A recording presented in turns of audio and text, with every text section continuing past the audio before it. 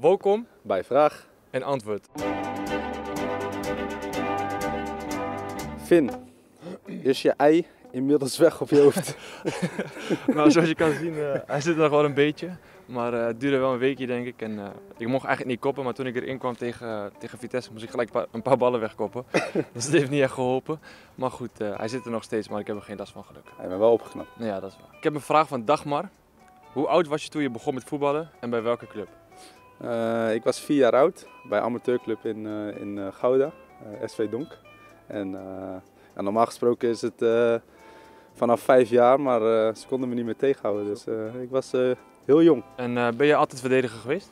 Nee, ik ben begonnen eigenlijk als aanvaller. Ik stond vroeger altijd rechtsbuiten, maar toen ik eenmaal naar Feyenoord ging, hebben ze me verdediger gemaakt. Vandaar die schaatjes en Ja, ik heb wel kleine techniek, was. Ja, ja, ik heb gezien. Ik heb gezien. Nick, ik heb een vraag van Daphne. Wat vind je het mooiste aan de club SC Heerenveen? Ik denk het stadion en de supporters. Oké, volgende vraag van Ide.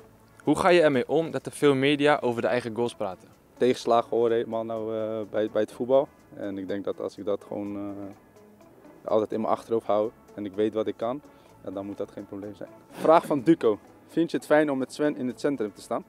Uh, ja, heel fijn om het, met Sven samen te spelen. Een hele goede speler, maar dat weet hij ook, heb ik hem wel vaker verteld. Dus ik ben blij om hem, met hem samen te spelen. Leuk om te horen. Een vraag van Tijmen. Wat is de tactiek dat je zo hard kan koppen? Ik denk de timing, de juiste timing. Ik heb niet per se een tactiek ervoor, maar ik denk dat de timing gewoon heel belangrijk is. Uh, dat je de bal goed kan raken met je voorhoofd. En uh, ja, dan gaat hij vanzelf denk ik wat harder dan normaal. Kasper, wat was de moeilijkste spits om tegen te voetballen? Ik denk toch wel Luc de Jong. Ik vond hem wel goed in de lucht. Ik denk dat je weinig kopduels van hem wint en ik vind hem ook... Ja, in de 16 is hij gewoon heel gevaarlijk, dus je moet echt constant scherp zijn dat hij niet kan koppen of dat hij niet voor je komt. Dus ik denk ja, tot nu toe Luc de Jong. Een vraag van Ime. Geniet je van de sfeer van de fanatieke supporters? Ja, zeker. Ik denk de afgelopen wedstrijd, als je ziet uh, dat ze ons in de moeilijke fases denk ik, steeds doorheen kunnen slepen. Uh, het geeft een extra kracht.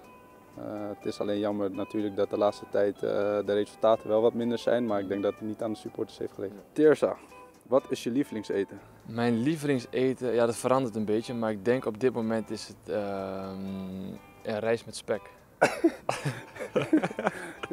ja, rijst met spek en groenten, ja. Lekker ik denk, vind ik wel. iets heel speciaals, nee, nee, maar ik komt gewoon rijst met spek. Ja, rijst met spek is op dit moment mijn lievelingseten, ja. Dat is prima. Ja, toch?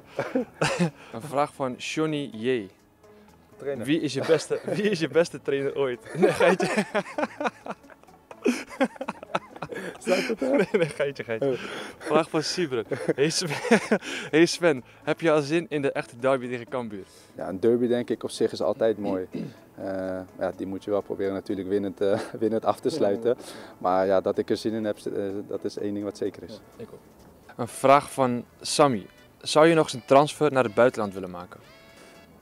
ik denk dat wel dat altijd een droom van me is geweest.